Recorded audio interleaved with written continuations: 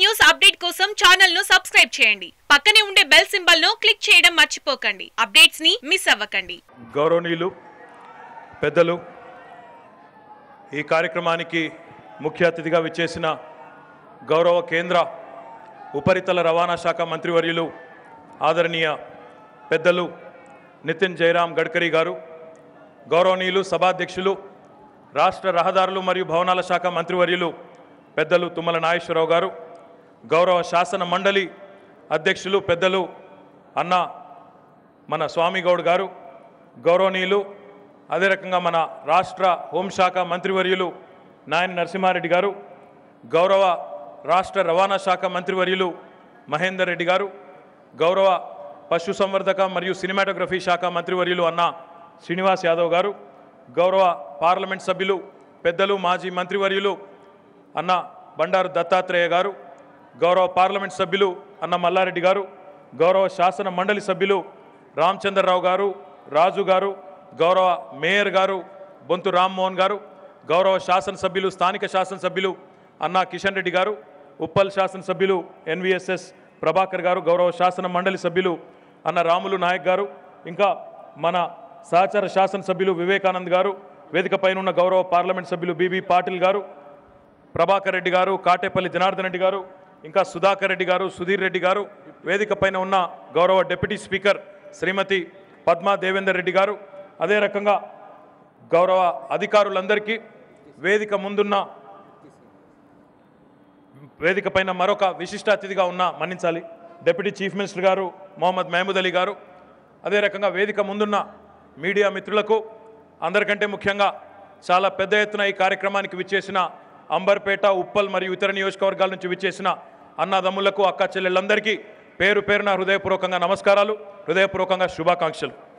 హైదరాబాద్ మహానగరంలో పెరుగుతున్న రవాణా హైదరాబాద్ నగరంలో పెరుగుతున్న రద్దీ పెరుగుతున్న ట్రాఫిక్ అనుగుణంగా ఎన్నో రకాల పరిష్కారాల కోసం రాష్ట్ర ప్రభుత్వం అదే రకంగా కేంద్ర ప్రభుత్వం కలిసి సంయుక్తంగా ఒక ముఖ్యమైన నాలుగు రహదారులకు సంబంధించి ఈరోజు గౌరవనీయులు పెద్దలు నితిన్ గడ్కరీ గారి చేతుల మీదుగా శంకుస్థాపన కార్యక్రమం జరుగుతూ ఉంది. అందులో ముఖ్యంగా దశాబ్దాల పాటు ఒక చిరకాల సమస్యగా ఉన్న ఉప్పల్ క్రాస్ రోడ్స్లో ఒక స్కైవే కానీ ఎలివేటెడ్ కారిడార్ కానీ అదే రకంగా ఇక్కడ మన అంబర్పేట నియోజకవర్గంలో చే నెంబర్ చౌరస్తా దగ్గర ఉండే మరి ఈ ఫ్లైఓవర్ కానీ అదే రకంగా నర్సాపూర్ మార్గం కానీ ఆరాంగఢ్ చౌరస్తా నుంచి విమానాశ్రయానికి పోయే మార్గం కానీ ఈ ముఖ్యమైన నాలుగు కూడలలో ఈరోజు కేంద్ర ప్రభుత్వము రాష్ట్ర ప్రభుత్వము సంయుక్తంగా కలిసి ఏర్పాటు చేసిన ఈ కార్యక్రమానికి గౌరవ పెద్దలు నితిన్ గడ్కరీ గారు రావడం వారు వచ్చి ఆశీర్వదించడం తప్పకుండా ఈ కార్యక్రమం సత్వరమే పూర్తవుతుందనే ఒక విశ్వాసాన్ని కలిగిస్తూ ఉందని చెప్పి కూడా ఈ సందర్భంగా నేను మీకు విజ్ఞప్తి చేస్తూ ఉన్నాను. గౌరవనీయులు నితిన్ గడ్కరీ గారి గురించి వారి కార్యదక్షత గురించి గౌరవ ముఖ్యమంత్రి గారు స్వయంగా కేసీఆర్ గారు శాసనసభ వేదికగా పలు సందర్భాల్లో ప్రస్తావించడమే కాదు తెలంగాణ ప్రజల పక్షాన తెలంగాణ ప్రజాప్రతినిధులకు మరి దేవాలయం అట్లాంటి మన శాసనసభ వేదికగా శాసన మండలి వేదికగా ముఖ్యంగా నితిన్ గడ్కరీ గారికి ధన్యవాదాలు తెలిపిన విషయాన్ని కూడా ఈ సందర్భంగా నేను గుర్తు చేస్తూ మళ్ళొక్కసారి వారికి మీ అందరి హర్షధ్వానాలతో వారిచ్చిన మద్దతుకు ఒకసారి అందరూ కూడా ధన్యవాదాలు చెప్పాలని చెప్పి నేను కోరుతా ఉన్నాను.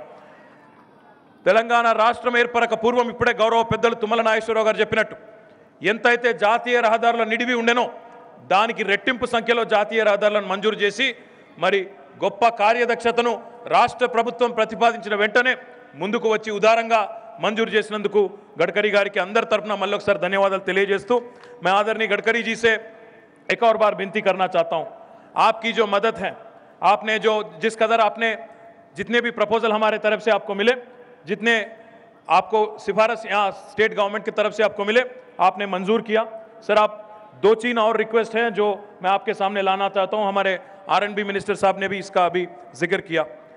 Four laning of Sangareddy Narsapur Gajwel Bhongir और चौटुपल एक प्रपोजल राज्य सरकार की तरफ़ से, राज्य सरकार की तरफ़ से आपको समर्पित किया गया।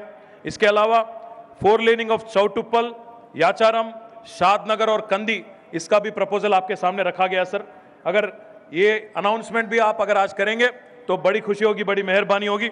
इसके अलावा इसके अलावा हम ये भी उम्मीद करते हैं कि जो रिक्वेस्ट हमारे आरएनबी मिनिस्टर साहब ने किया, एक हज़ार करोड़ रुपए की सीआरएफ के ज़रिए, अगर उसका भी अगर ऐलान किया जा सकता है, हम आभारी रहेंगे आपके। इसके अलावा सर, मैं आपको बताना चाहता हूँ, हैदराबाद शहर आज सबसे तेज़ी से बढ़ रही है। आज देश में बहुत सारे शहर हैं मेट्रोस हैं, महाराष्ट्र में भी मुंबई है, नागपुर है, पुणे है, बहुत सारे शहर है। बट आज हैदराबाद अगर आप देखेंगे मेरसर की रिपोर्ट हो या कोई भी रिपोर्ट हो, आज Hyderabad best quality of living city with the best quality of living कहलाया जाता है।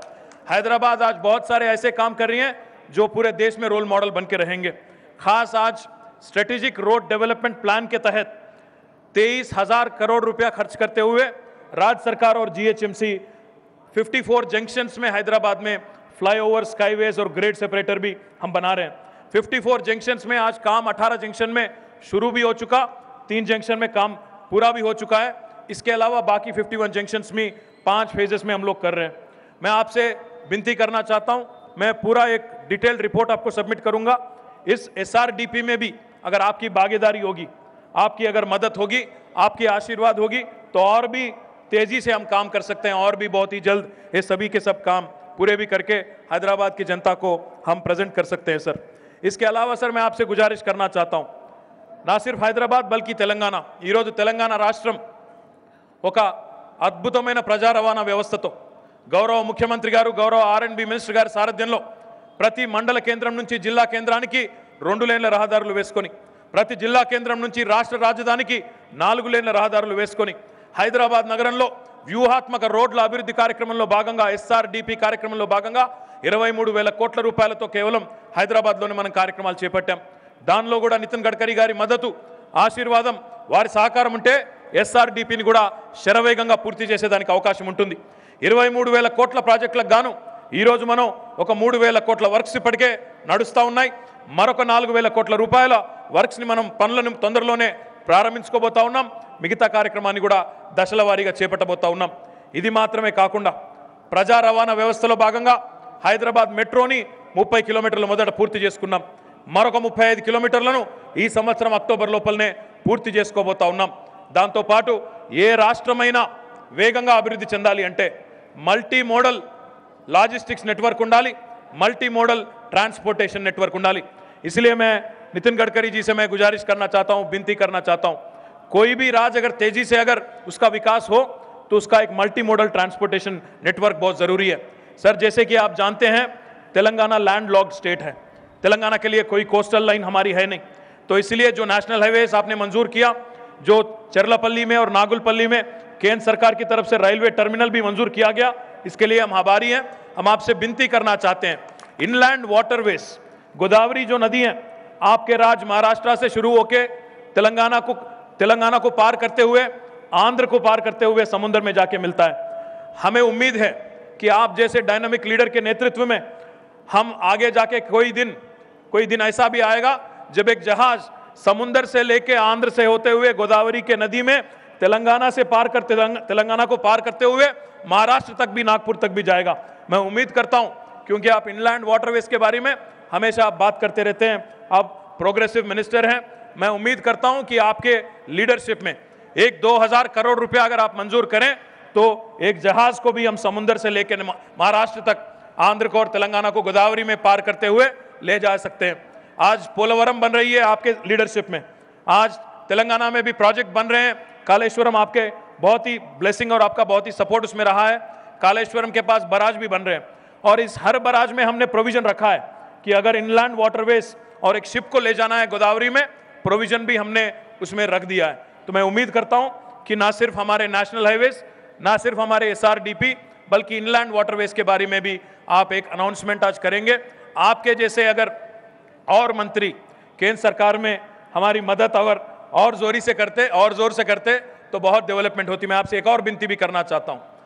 Sir we are ready to begin two more elevated corridors in Hyderabad sir we are ready to begin on two extremely congested roads एक jubilee bus stand से लेके जो रामगुंडम और मंचिरियाल और कोल belt जाने वाली हाईवे है, उस पर हम लोग एलिवेटेड कॉरिडोर बनाने के लिए 2500 करोड़ का प्रोविज़न भी हमने कर लिया हैदराबाद मेट्रो डेवलपमेंट अथॉरिटी की तरफ़ से। इसमें केंद्र सरकार से हम पैसा भी नहीं मांग रहे हैं। इसके अलावा एक और रोड है सर पैटनी से सिकंदराबाद होते हुए कंटोनमेंट पार करते आगे सुचित्रा जंक्शन तक एक और एलिवेटेड कॉरिडोर की भी हमने डिज़ाइन पूरा तैयार करके रख लिया। But unfortunately sir defence ministry is not cooperating with the state government. All we have requested is 100 acres of land from Defense Ministry, and we have been extremely cooperative, sir. We've even come forward to give 600 acres in lieu of 100 acres. उन्होंने जो 100 एकड़ उन्होंने देने थे उसके लिए equivalent land value 600 एकड़ देने के लिए भी हम तैयार हो गए मैं विनती करना चाहता हूँ आपसे क्योंकि एलिवेटेड कॉरिडोर आप इस देश में सबसे पहला एक्सप्रेसवे आप ही ने बनाया मुंबई पुणे एक्सप्रेसवे आप ही के लीडरशिप में महाराष्ट्र में बना हैदराबाद के अगर चौ तरफ़ एलिवेटेड कॉरिडोर और स्काईवेज बनाने की जो हमारे चीफ मिनिस्टर साहब का ड्रीम है, जो हमारे चीफ मिनिस्टर साहब का विजन है, ये अगर कामयाब होना है तो डिफेंस मिनिस्ट्री का भी पूरी तरह से कोऑपरेशन चाहिए।